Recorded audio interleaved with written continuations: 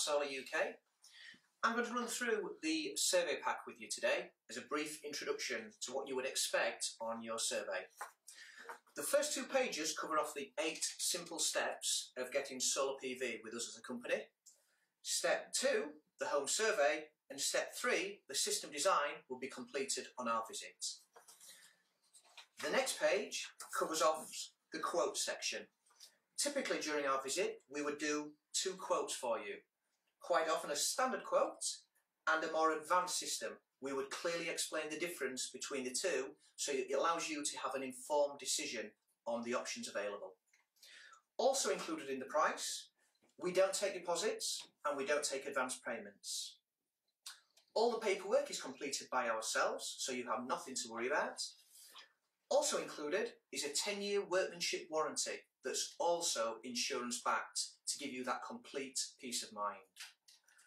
Further to that, we would also complete an EPC, an Energy Performance Certificate for your property. Even if it already has one, we would upgrade it to include your new solar PV array. The next page of the survey pack is the prediction of your system's performance. Basically, we put in the factors that are specific to your property and the number of panels that can be fitted on the roof into a government-backed calculator and that will give us a prediction of how much energy it would generate in its first year.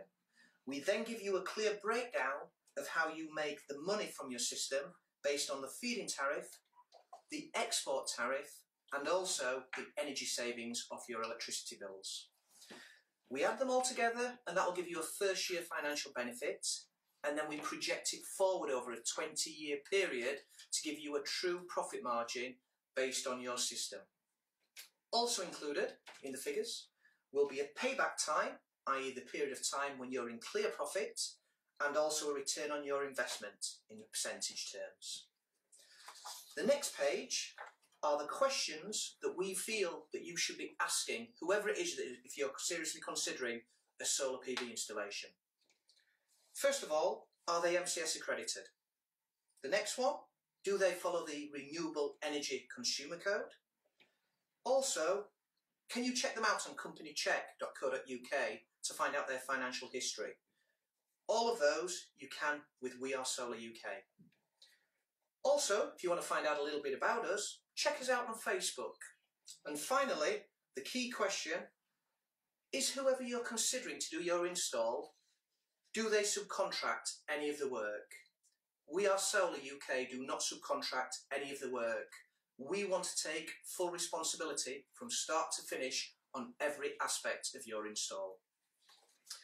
The final two pages will also cover a sketch layout of the plan that we propose for your actual solar panels and then there is also an order form within your survey pack.